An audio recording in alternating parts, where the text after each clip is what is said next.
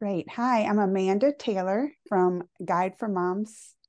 And uh, thank you for taking the time out today to speak with me. It's nice to meet you, Amanda. You too. Well, so I hear, I'm sure you hear this a lot, but my kids were huge fans of the books. and now That's that they're now that they're teenagers, they're fans even of the um animated, you know, films that they watch that.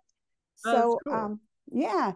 So uh my my question is why do you think you know that these stories have resonated you know with not only children but adults and kind of standing the test of time through the years yeah i think that i think the stories are kind of universal like mm-hmm. this story in particular is about the stress that a kid feels around the holidays and yeah. this wanting of a, of a gift and trying to be good um, I think that these I try to um, hit on themes that that feel like they they are universal, and mm-hmm. um, that's been really rewarding to hear things things like you've just said is to hear that they they're they're resonating with kids across you know genders and, and cultures yeah. and things like that. So that's cool. And it is funny that you mentioned themes because I was going to ask about that. This is the third coming from Disney Plus, and of course, it, a, it has the Christmas theme. The first kind of had the message though of like friendship, and the second one, right, like brotherhood. So, what kind of yep. message are you hoping this one, other than Christmas, kind of the viewers take away from? Uh, well, the, the, my my books don't usually come with uh, a lot of messages, but the this movie does and uh-huh. it's you know the, the message of this one is that your family might be driving you crazy now but you'll come to really appreciate them later on. Um, so i think that it's um, i think it's a, a good hearted message. And even though it sits a little outside of the normal wimpy kid fare i think that it's um it's it's a it's a good one to do right now. Agreed agreed. Uh, we all can use that right? Especially during the holidays. So how do you pick which book um, to make into one of these films? Yeah, so they, there are so many of them now. There are 18. Mm-hmm. Um, it just felt like the right time to tell a holiday holiday story. We've never done it before. Mm-hmm. Um, Disney really wanted to do a holiday story at the holidays, and we had a, a window. We had an opportunity to do it, and so um, we, we, we really had to race to get it done, but but we did and got it done in time. Um, but it's it's nice, you know. Here it is, December. I'm in New York. I'm in Times Square right now. We're mm-hmm. looking at the backside of one of those giant video boards. Uh-huh. Um, but it's um, it, it, so it feels like Christmas around here already, yes. and it it feels really good to have a, a holiday film coming out.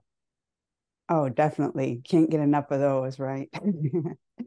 and um, so this one we got though to meet Santa Scout which I was so excited about, kind of like the version of Elf on the Shelf. So can you tell me a bit about, you know, incorporating him into the story? Did did you have a Santa Scout growing up or did you take part of on the whole Elf on the Shelf thing with your own kids?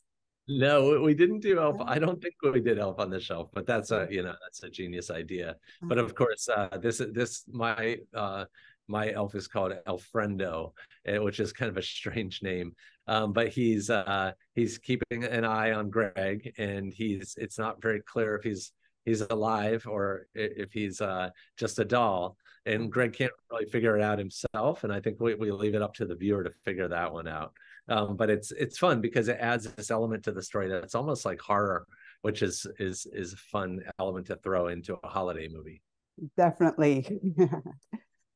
it's not, oh, excuse me. so what I appreciate about these uh, animated films also is the length. You know, they're yeah. not too long to really lose the attention, which always happened with my kids, but not too short uh, at either.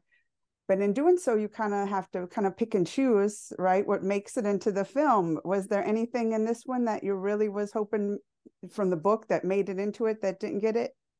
No, I felt really good about it. Um, it's it's nice an hour is a nice length because you have to tell a really tight story um, and there's in in filmmaking there's something called an a plot and a b plot and mm-hmm. most movies have both and these don't have a b plot and so it's a really straightforward telling of the story mm-hmm. um, in, in, a way that works really well for me mm-hmm.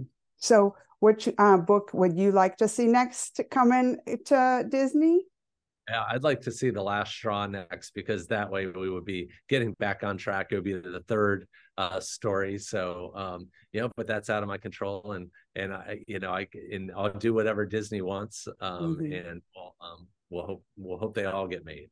Uh, definitely, I cross my fingers for it. well, thank you so much for taking the time out to speak with me today. I really appreciate it. Thanks for your thoughtful questions. I yes. appreciate it.